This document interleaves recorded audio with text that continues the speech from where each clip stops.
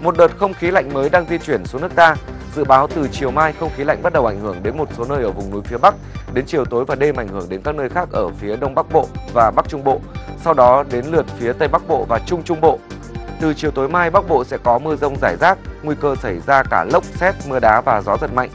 Từ đêm mai khu vực Thanh Hóa, Hà Tĩnh chuyển mưa rào, sau đó vùng mưa mở rộng xuống đến Quảng Ngãi. Từ ngày 16 tháng 2 Bắc Bộ và Bắc Trung Bộ trời rét, riêng phía Đông Bắc Bộ và Thanh Hóa có khả năng rét đậm vào các ngày 16 đến 18 tháng 2, vùng núi có nơi rét hại. Cần giảm giá thịt lợn hơi xuống mức 75.000 đồng một kg trong tuần tới.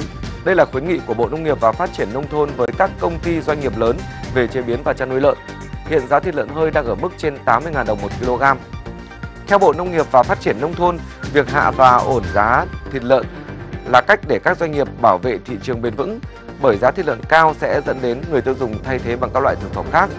Cùng với đó các nguồn thịt không rõ nguồn gốc, kém chất lượng sẽ thâm nhập thị trường, gây loạn về giá cả và tiềm ẩn nhiều rủi ro với dịch bệnh. Với những doanh nghiệp không chịu hạ giá, Bộ sẽ có biện pháp cương quyết để bình ổn giá.